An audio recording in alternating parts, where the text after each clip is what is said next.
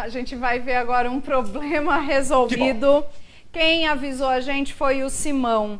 Né? Tinha a, ali na rua Luiz Antônio de Moraes uh, muitos buracos. Né? E o Simão avisou que foi resolvido Vamos o problema. Vamos ver então, né? problema resolvido. Diga lá, Simão. Diga.